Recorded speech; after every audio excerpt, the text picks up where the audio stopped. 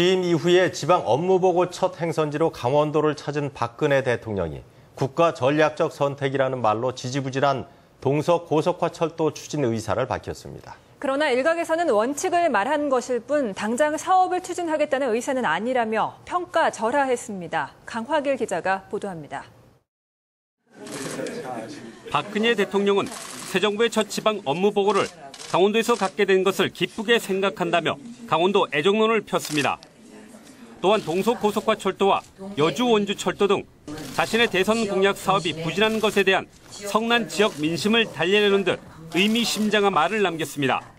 춘천, 속초 간 동서고속화철도와 여주, 원주 간의 복선 철, 전철 등의 사업들에 대해서 걱정이 많으신 것으로 알고 있습니다.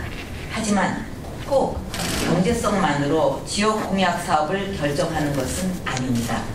아울러 동서고속화 철도 사업을 관광객 유치 등의 지역 경제 활성화뿐만 아니라 장기적으로 유라시아 철도와의 연계까지 염두에 두고 있다고 덧붙였습니다. 강원도에 미치는 지역적 효과뿐 아니라 국가 차원의 전략적 선택의 문제로 인식하고 있다는 것을 여러분께 말씀드리겠습니다. 이에 대해 지역에서는 상반된 반응이 나왔습니다.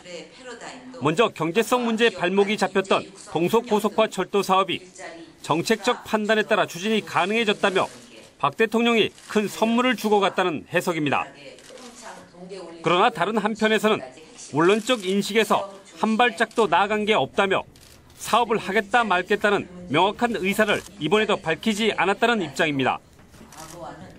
최문순 도지사는 강원도 업무 보고에서 동서고속화 철도 건설 외에 창조 전략 산업 육성, 속초항 크루즈 부두와 터미널 건설 등 다섯 건의 지역 현안 해결을 건의했습니다. 지역 형평성을 들어 정책적 추진 불가론을 펴고 있는 기획재정부의 입장과 정면으로 배치되는 박 대통령의 이번 언급이 동서고속화 철도 사업 추진에 전환점이 될지 주목됩니다.